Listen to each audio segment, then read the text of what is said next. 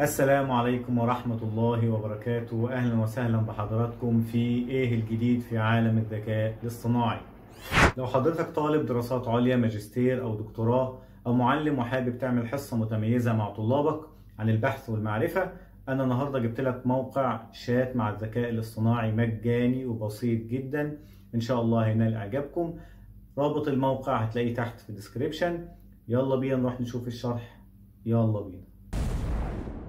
نرحب بحضراتكم مرة تانية. زي ما حضراتكم شايفين الواجهة الرئيسية للموقع الخاص بالتحدث مع الذكاء الاصطناعي أو الشات بيربلكسيتي وهو موقع مجاني ويدعم اللغة العربية والإنجليزية. موقع واجهته بسيطة جدا وسهل جدا ونتعامل معاه بكل سهولة ونقدر نستفيد منه بشكل كبير جدا وخاصة طلبة الدراسات العليا والماجستير والمعلمين وغيرهم المهتمين بالبحث في مجال الذكاء الاصطناعي.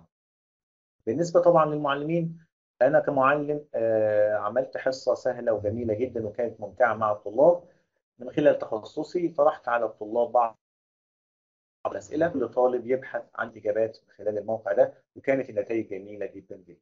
طيب تعالوا نشوف مع بعض إيه اللي بيقدمه لنا واجهة البرنامج. أولا عندي هنا السؤال بضع السؤال بشكل سهل جدا. أنا عندي سؤال أنا كنت مخصصه هي استراتيجيات التعلم الحديثة.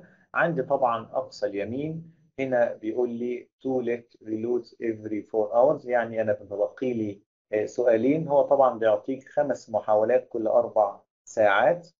آه عندي هنا آه تحت السؤال بيقول لي focus focus بمعنى أنت عايز الإجابة على السؤال من خلال أي مصادر.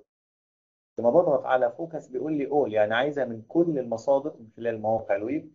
ولا عايزها من خلال المواقع الأكاديمية والجامعية ولا من خلال الشات فقط مع الذكاء الاصطناعي أو من خلال اليوتيوب على سبيل المثال فيديوهات أو من خلال الآراء والمناقشات أو من خلال المعرفة الحاسوبية وغيرها. على سبيل المثال هنقول الإجابة من خلال أول اختار هنا أول ونضغط على السهم ده. طبعا هنا في قدام اختيارين. الاختيار الأول إجابات عامة بشكل عام متوسعة شوية. الاختيار الثاني بيكون مختصر شوية. تعالوا نبدأ بالاختيار الأول. هنشوف مباشرة الذكاء الاصطناعي بيبدأ يجاوب لي على السؤال اللي أنا وضعه لأن يديني أنواع كتير جدا من الاستراتيجيات اللي متفق عليها في السؤال ومديني أيضا إن أنا أقدر أعمل نسخ للإجابة وأضعها في البحث بتاعي أو أنفقها في ملفاتي ومديني كمان المواقع الخاصة بالمصادر والمراجع بيها. طيب تعالوا نشوف مع بعض لو إحنا طرحنا السؤال بشكل أسرع نضغط مرة ثانية ونكتب نفس السؤال. لكن المرة دي هنفعل الأداة دي بتقول له ابدأ ابحث. زي ما شايفين أهي باختصار شديد مع مصادر البحث اللي امام حضرتك. لو ضغطت على أي رقم أمامي بيديني المصدر اللي جت منه المعلومة وطبعا المصادر بتكون حقيقية وعايزين ننبه على إن المواقع الذكاء الاصطناعي اللي إحنا بنعطيها لحضراتكم بتتميز بإنها آمنة غير طبعا موقع جوجل والروابط اللي بنضغط عليها بدون علم أو دراية وللأسف بتؤدي لنتائج سيئة يعني. فبضغط على أي رقم من أمامي دول مصدري الخاص أو المرجع الخاص بيديني من أين أتت الإجابة زي ما بنقول نضغط على رقم 2 مثلا على سبيل المثال يعني ونشوف الإجابة مصدرها إيه.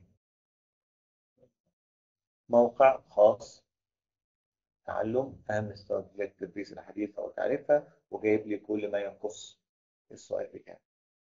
آه طبعا في مصادر خاصة باليوتيوب فيديوهات لو ضغطت عليها بيديني الفيديوهات الخاصة. ده باختصار شديد جدا جدا جدا إزاي أدخل على الموقع بيربلكسيتي وأستفاد منه من خلال البحث والمعرفة. أتمنى أنكم تكونوا استفدتوا من الموقع الجميل الجديد ده الخاص بالذكاء الاصطناعي والخاص بالشات.